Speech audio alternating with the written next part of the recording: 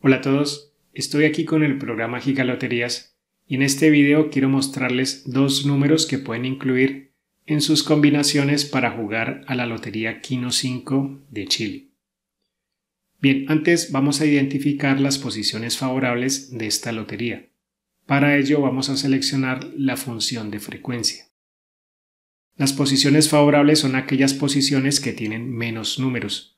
Por lo general vamos a encontrar esas posiciones en los extremos de la lotería.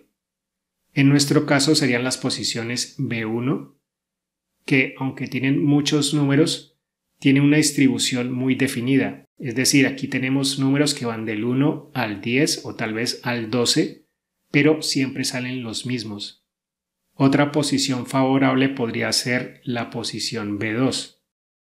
Observen que tenemos muy pocos números, pero es que también esta lista de números, digamos, está contenida en la posición B1. Esto es muy bueno porque intentando acertar B1 podríamos acertar B2 y viceversa. Bien, otra posición favorable sería la posición B7, que como pueden observar pues tiene muy pocos números. Bien, dicho esto, pasamos ahora sí a la función pronóstico por ciclo. Aquí vamos a encontrar números que tienen ciclo de aparición ya cumplido. Es decir, son números que en los últimos sorteos no han salido y que por lo tanto esperamos que salgan en los próximos sorteos. Bien, vamos a ver cómo se comportan estos números en el historial. Para ello vamos a presionar aquí este botón M2 Bien, vamos a concentrarnos en las posiciones B1 y B7. Observen que este número 1, que tenía ciclo de aparición de 3, si no estoy mal, sí, aquí está. miren que ya pasaron cuatro sorteos y el número 1 no ha vuelto a aparecer en la posición B1.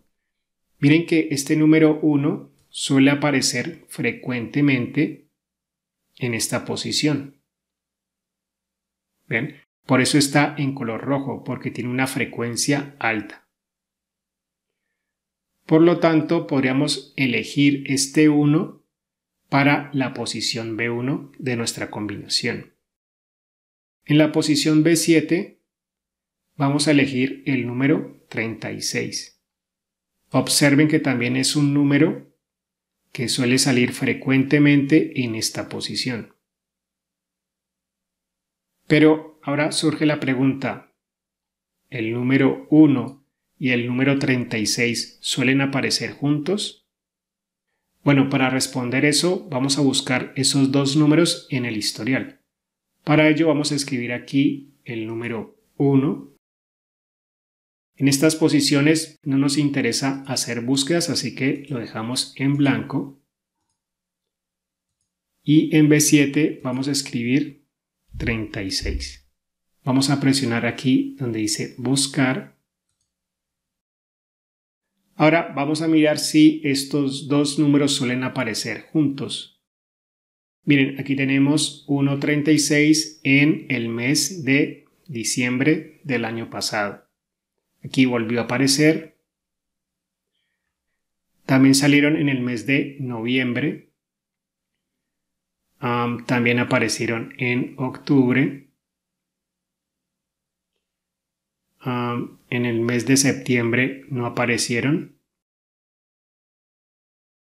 En agosto también aparecieron aquí. Entonces podríamos pensar que esta combinación 1.36 digamos que aparece por lo menos una vez al mes. Y esos son los dos números que quería recomendarles.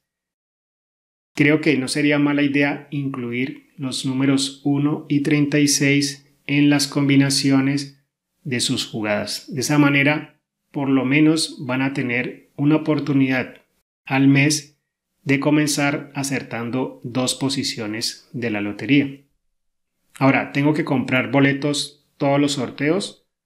No, lo que podríamos hacer es simplemente ir aquí al pronóstico y comprar boletos cuando el número 36 aparezca aquí como pronosticado en la posición B7. Recordemos que cuando están pronosticados es debido a que no han salido en los últimos sorteos. Observen que aquí han pasado todos estos sorteos y el número 36 no ha vuelto a aparecer. Por lo tanto, es buena idea comenzar a comprar boletos con los números 1, 36. Bien. Una vez salga el número 36, yo dejaría de comprar boletos. ¿Hasta cuándo? Hasta que el número 36 vuelva a aparecer como un número pronosticado. Ahora, ¿por qué me estoy fijando más en la posición B7? porque es la que tiene menos números. Por lo tanto, pues tenemos más probabilidad de acertar un número de esta lista que es más reducida que la posición B1 o tal vez la posición B2. Observen que la distribución de números aquí no es muy regular. No es como en B1 que va del 1 al 10, del 1 al 12. Aquí tenemos como unos saltos, así que no está muy bien distribuida. Miren que la posición B7 tenemos números 30, 31, 32 hasta el 36. Está bien distribuida. B2 no lo está, entonces eso puede hacer un poco más difícil de acertar. Por eso yo utilizo la posición B7 como una guía para saber cuándo debo comprar los boletos o qué número debo incluir en las combinaciones. Bueno, para terminar vamos a probar si la combinación 1.35 suele aparecer en los sorteos ganadores de la lotería. Vamos a presionar buscar. Bien, entonces vamos a mirar si esta combinación ha salido. Ah, miren que ya apareció ahora en enero. Ah, tenemos también apariciones de 1.35 en diciembre, en noviembre, en octubre no apareció, sí apareció en septiembre, en agosto también apareció, y bueno, así lo podemos ver mes a mes. Así que creo que también es una buena combinación de números que podríamos incluir en las combinaciones del el Kino 5. Bueno, para terminar vamos a hacer un resumen de esta técnica.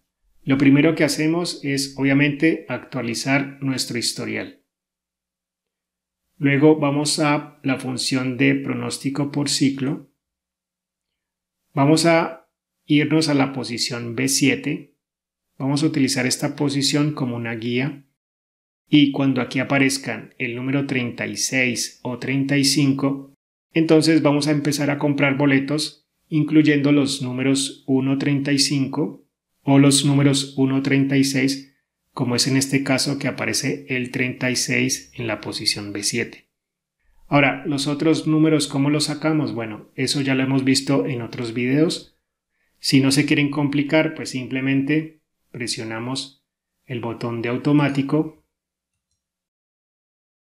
el programa va a generar una combinación optimizada con la cantidad de números pares, primos y también consecutivos que suelen aparecer en los sorteos de la lotería. Lo único que tendríamos que cambiar sería simplemente aquí colocar un número 1 y en esta posición un número 35 o 36. Bueno, eso ha sido todo. Espero que les haya gustado este video. Recuerden suscribirse al canal, darle me gusta al video, compartirlo. Nos vemos en una próxima oportunidad. Chao.